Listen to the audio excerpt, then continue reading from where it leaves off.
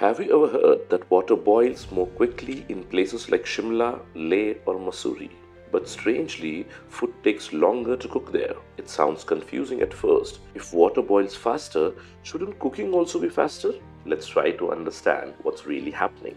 Water boils when its vapor pressure becomes equal to surrounding air pressure. At mean sea level, the atmospheric pressure is high, so water needs to reach 100 degrees Celsius for its vapor pressure to match the outside pressure and start boiling. But at high altitudes, the air pressure is lower. The air is less denser.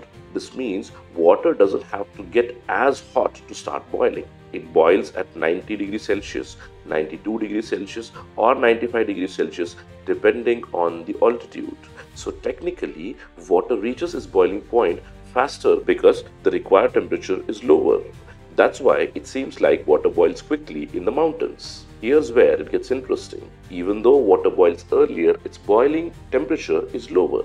At sea level, it boils at 100 degrees Celsius, which is excellent for cooking food thoroughly. At high altitudes, water boils maybe at 90 degrees Celsius, which is simply not hot enough for many cooking processes. So while the pot starts boiling, but it never reaches higher temperatures which is needed to soften the dal, rice, potatoes, or other food properly.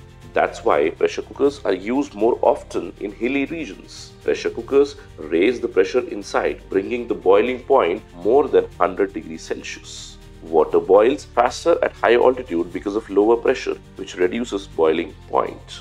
But since water never gets hot enough, cooking actually takes longer.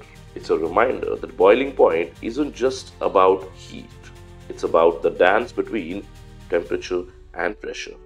For more science explainers, subscribe to UPSC Simplified.